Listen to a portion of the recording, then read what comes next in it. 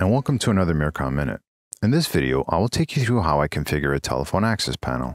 I will cover setting up call timers, schedules, messages, languages, line types, keypad configuration, postal lock configuration, advanced options, and resident configuration.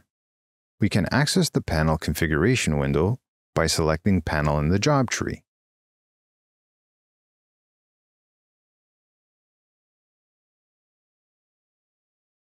And below we can access the configuration tabs for calls, phone lines, keypad, passcodes, and advanced options. In the Call Configuration tab, we can specify the maximum talk time, maximum number of rings. This applies to NSL lines only. If you are using a PSTN or POTS line, the maximum number of ring settings does not apply and is determined by the maximum talk time. You can also assign separate schedules to allow calls, allow unlock, allow keyless entry from the drop-down list. In this example, I will not allow keyless entry and will change the schedule from always to never. I have created a postal entry schedule to restrict postal lock usage from 8 a.m. to 4 p.m. Monday to Friday. You can also adjust the speaker and microphone volumes. Depending on the location of the panel, being indoor or outdoor, you will have to adjust the volumes for optimum usage. To configure custom display messages, select the Messages tab. You can display the message in English, French, and Spanish only.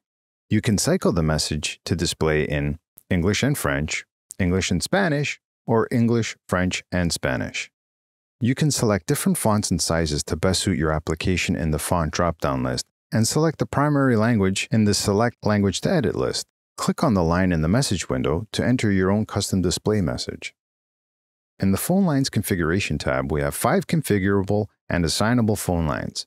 In this configuration example, I will be using multiple phone lines. This is a mixed-use building which has an existing NSL system, and they have added a TX3 ATA adapter to dial residents who choose to use their cell phone. I will leave line 1 as ADC, which is connected to the tip and ring of the ATA adapter, and select NSL in the line 2 drop-down list. Enable the guard phone checkbox if you have a guard phone module installed. In the keypad tab, we can assign the DTMF tones to open the main door, aux door, and answer call waiting tone by selecting the digit in the drop-down list. I will leave the default for all three fields in this job. We can also set the unlock times for each door independently. I will leave it at the default 30 seconds. But if your telephone entry panel is a distance from the door that requires more time, you can enter the optimal value in seconds in the boxes. I will also leave Enable Keypad during calls checked in this job. In the Passcodes tab, we can define a Level 2 passcode.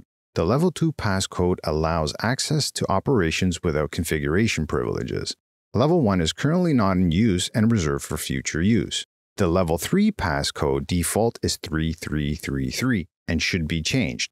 You can configure a new Level 3 passcode from the Monitoring tab.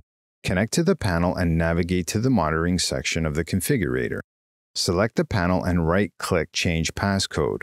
Once the Level 3 passcode has been successfully changed, you must enter it in the configuration in order to connect to the panel.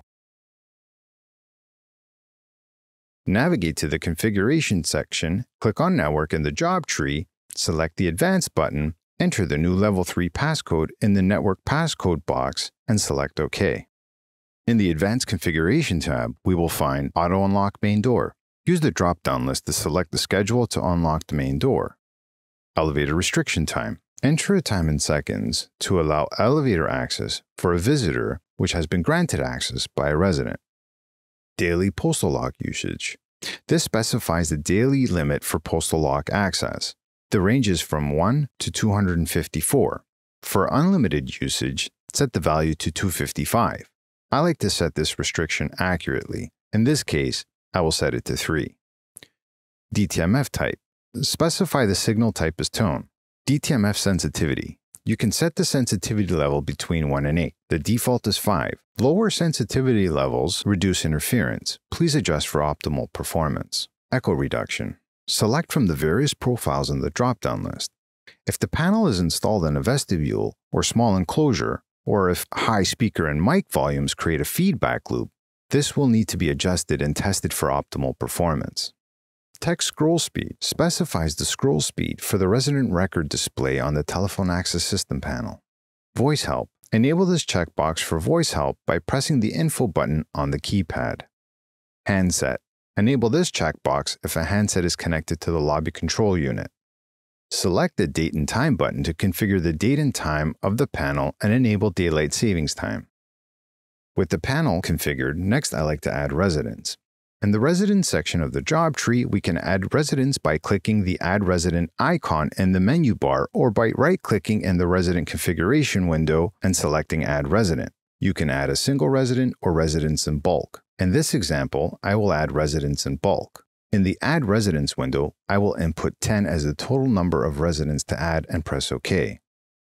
I will enter the residents' details individually because some residents have elected to use the NSL system and others the TX3 ATA adapter. We can access the resident's details by double-clicking on the row or by selecting the resident, right-clicking, and selecting Edit Residents.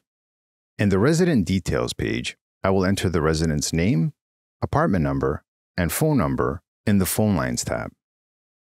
In the Entry tab, we can enter a keyless entry code and secure phone digits entry, which override the general keypad option. I have used this option in an application where there was one entry phone and two offices dividing the floor. I assigned each office their own secure entry code using the main door for the first office and the aux door for the second office. This code can be up to four digits from 0 to 9, followed by the pound key. If we access the Profile tab, we can add more resident information and include a photo which is not accessible in the resident directory of the panel. This information will be saved in the configuration. The next entry will use the existing NSL system in the building. I will double-click on the row, enter the resident's name and apartment number, and in the Phone Lines tab, select Line 2 NSL.